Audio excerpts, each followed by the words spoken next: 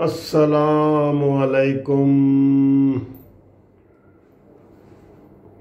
मेरे प्यारे भाइयों, दोस्तों, बहनों, अजीज़ों, कैसे हो? खैरियत है? अल्लाह करे आप खैर खरीत से हों। खुश हों। लाहौर से मुनसिफ अवान एडवोकेट का आपको सलाम और कानूनी टीवी चैनल की तरफ़ से आपका बहुत बहुत शुक्रिया, क्योंकि आपने सब्सक्राइब किया है और आप करवा रहे हैं। Thank you very much. दोस्तों, यकीन करो, मैंने अभी एक ख़बर सुनी है।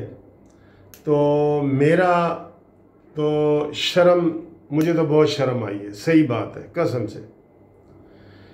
वफाकी काबीना का इजलास हुआ है और जिसमें पाकिस्तान के अहम तरीन मसले का ज़िक्र किया है। पता है आपको? अहम तरीन मसला, अब आप कहेंगे, अहम तरीन मसला कौन सा है जिसके ऊपर पूरी वफाकी कबीना का, साठ वज़ीरों का, मुशीरों का वज़ीर अजम का इनका इजलास हुआ है और इन सर जोड़ के ये बैठे हैं छः घंटे के इजलास में कि जनाब इस मसले का हल क्या है? और वो मसला क्या है? आप सोच रहे होंगे कि अभी हालिया बारिशों में इतने लोग फौत हुए हैं, चौदह पंजाब में मरे हैं, कोई बीस के करीब सिंध में मरे हैं, कोई बिजली के करंट से मरे हैं, पानी का मसला हो गया है, लोग नकल मकानी करने पर मजबूर हो गए होंगे। आप ये सोच रहे होंगे कि ये मसला होगा? नहीं, ये मसला नहीं था। फिर आप सोच रहे होंगे कि यार मसला ये होगा कि मीशत का मसला होगा, पाकिस्तान की मीशत माइनस फोर पे चली गई है और लोग खुदकुशियाँ कर रहे हैं मीशत की वजह से, नौकरियाँ नहीं मिल रही, कोरोना की वजह से नौकरियाँ चली गई हैं और लोग गुर्बत की लकीर के मज़ीद एक करोड़ आदमी जो है ना नीचे चले गए हैं। और वफाकी कबीना को ज़ाहिर है ऐसे मसले के ऊपर तोज्जो देनी चाहिए कि भाई हम कैसे अपनी मीशत को इस माइनस के निकाल के इसको असलाह कर सकते हैं, पाकिस्तान के लोगों की खुशहाली का कर सकते हैं, क्योंकि ये 22 करोड़ आवाम का मसला है। इसके ऊपर वफाकी कबीना ने आम सोच विचार की होगी। नहीं, ये भी नहीं है। फिर आपने सोचा होगा कि जनाब पाकिस्तान के जो जो इदारे तबाह हो रहे हैं, स्टील मिल तबाह हो रही है पी आई ए तबाह हो गई है। और पाकिस्तान के सेहत का, पाकिस्तान के एजुकेशन सिस्टम का, तलीमी इदारे बंद हैं, सारा कुछ बंद है, लोगों के कारोबार बंद हैं। इस मसले के ऊपर वफाकी काबीना ने जो है ना, वो कोई अहम मसले के ऊपर आवाज़ उठाने के लिए जलास बुलाया होगा। और छः घंटे के जलास में ये हो, होगा कि यार इसको अब कैसे किया जाए? फिर इसी तरह के आपके जहन में सवाल उठ रहे होंगे कि यार, पाकिस्तान इस वक्त चूँकि बैरूनी दुनिया से, सऊदी अरब से उसके तल्लुक ख़राब हो गए हैं, पाकिस्तान के जनाब और पड़ोसी मुल्कों से तल्लुक ख़राब हो गए हैं। आप इसके ऊपर वफाकी कबीना ने गौर व फ़िक्र किया होगा और छः घंटे की जनाब उन्होंने गौर फ़िक्र करने के बाद उन्होंने कहा होगा कि यार, इस मसले का हल निकालें। ये भी नहीं। फिर आप सोच रहे होंगे कि यार छः घंटे वफाकी कबीना ने एक कमरे ए, मीटिंग पे लगाए हैं साठ मुशीर वज़ीर इकट्ठे हुए हैं तो वो लाजमी कश्मीर का मसला होगा। क्योंकि कश्मीर का मसला तो हमारा शहर का मसला है कैद आज़म साहब के बकौल। तो ये जनाब ये लाजमी कश्मीर का मसला होगा। लाजमी आप ये सोच रहे होंगे कि ये कश्मीर का मसला होगा। तो ये कश्मीर का मसला भी नहीं है। फिर ये बेरोज़गारी, ये सारी इन चीज़ों का मसाइल होंगे। आपने एक एक मसले को सोचा होगा कि यार वफाकी कबीना के जो छः घंटे लगे हैं, उसमें टी ए डी ए करोड़ों रुपए लग गए होंगे आने जाने के, पेट्रोल के, गाड़ियों के। कोई कहाँ से वज़ीर आया, कोई कराची से आया, कोई इस्लामाबाद से आया, कोई के पी के से आया, कोई बलूचिस्तान से आया। लाजमी कोई अहम इशू होगा जिसके ऊपर सारे इस तरह सर जोड़ के बैठे हैं। कोई हो सकता है गिल के गिलत बल, बल्तिस्तान का मसला हो कोई कोई किसी किस्म का इस तरह का मसला होगा जो लाजमी इंसानियत के हवाले से बड़ा अहम होगा। इंसानों के हवाले से पाकिस्तान के 22 करोड़ अवाम का मसला होगा जिसके ऊपर छः घंटे वफाकी कबीना ने लगाए हैं। लाजमी आपके जेन में आ रहा होगा। इसका जवाब भी है नहीं। तो फिर क्या मसला है जी? जी वफाकी कबीना के सामने मसला रखा गया है कि नवाज़ शरीफ को पाकिस्तान कैसे लाया जाए। ओए मेरे खुदाया, ओए मेरे खुदाया, ये क्या वफाकी कबीना है यार? ये क्या हो रहा है इस मुल्क में? ये क्या हो रहा है?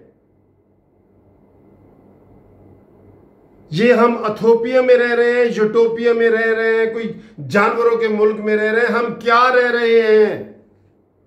जहाँ लोग भूख से मार रहे हैं, बच्चे पोलियो से मार रहे हैं, लोग टीबी से मार रहे हैं, कैंसर से मार रहे हैं, और वफाकी कबीना ने छह घंटे लगा दिए पूरे पाकिस्तान से इकट्ठे हो गए कि नवाज़ शरीफ को वापस कैसे लाया जा सकता है? शर्म करो वफाकी कबीना, शर्म करो इमरान खान। आज ये जब खबर चली है, यकीन करो, कसम खुदा की मेरा, मुझे शर्म आई है ये सुन के कि वफाकी कबीना ने ये मंजूरी दे दी है कि नवाज़ शरीफ को फौरी तौर पे पाकिस्तान वापस लाया जाए और ये पाकिस्तान का सबसे बड़ा मसला है। हद हो गई है। कोई कश्मीर के बारे में बात नहीं कर रहा, कोई गुर्बत के बारे में बात नहीं कर रहा कोई बेरोजगारी के बात में नहीं कर रहा, कोई सैलाब के बारे में बात नहीं कर रहा, कोई बिजली के बिलों के बारे में बात नहीं कर रहा। बाईस करोड़ आवाम का मसला है, बाईस करोड़ के अवाम की नुमाइंदगी आप करते हैं और आप कह रहे हैं कि नवाज़ शरीफ को वापस कैसे लाया जाए? और उसके ऊपर इमरान खान ने कमेटियाँ बनाई हैं कि मुझे दो दिनों में रिपोर्ट चाहिए। क्यों? कि नवाज़ शरीफ ने दो टेलीफोन कर दिए, बस। दोस्तों, आज मैं मैं बहुत जज्बाती हो रहा हूँ, यकीन करो। मैंने अपने अल्फाज को ना कंट्रोल किया हुआ है, बहुत ही ज़्यादा। इमरान खान ने छह कमेटियाँ बना दी हैं कि जनाब, एक कमेटी लाहौर हाई कोर्ट में केस करे कि शबाज शरीफ साहब की गारंटी जब्त की जाए, जिसने गारंटी दी थी कि नवाज़ शरीफ वापस आएगा। और दूसरी कमेटियों ने कहा है कि जी हमें हमें बताया जाए, दो दिनों में रिपोर्ट बनाई जाए, ये कोई देर नहीं इसमें होनी चाहिए। ये इमरान खान का हुक्म है कि उसने दो टेलीफोन किए, मुझे दो दिनों में नवाज़ शरीफ पाकिस्तान में चाहिए। वफाकी काबीना का फैसला है ये।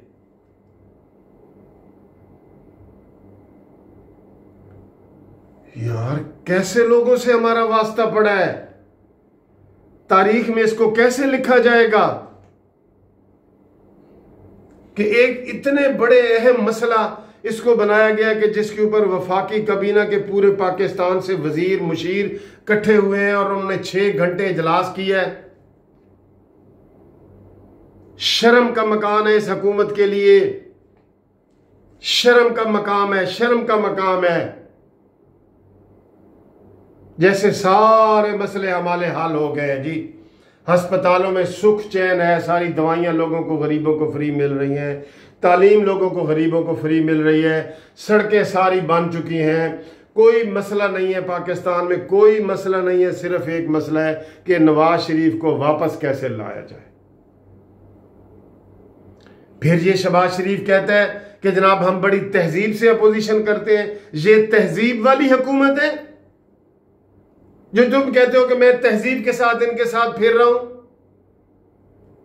126 दिन कंटेनर पे गालियाँ खा के अभी भी तुम कहते हो कि मैं तहजीब के साथ जो है ना वो अपोजिशन करूँगा।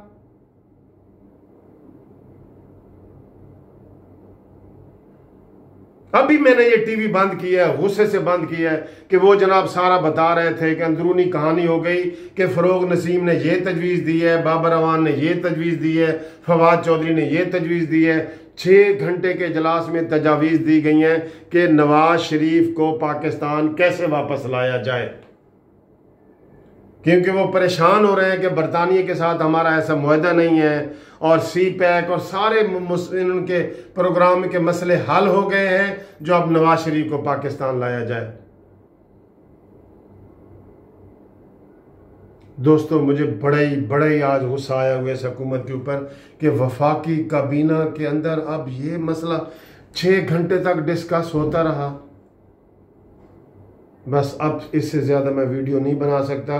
क्योंकि मुझे बहुत गुस्सा आया हुआ है। मैं अगली वीडियो में नरम और गर्म होके आपके साथ बात करूँगा, नरम और ठंडा होके बात करूँगा। खुदा हाफिज़।